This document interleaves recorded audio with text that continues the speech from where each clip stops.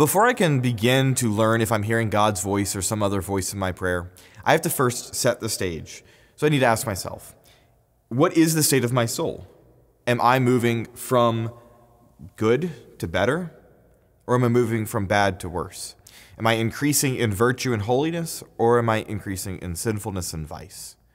And so, if I'm moving towards God, I'm doing something active, right? I can't expect to hear God's voice if I don't change anything.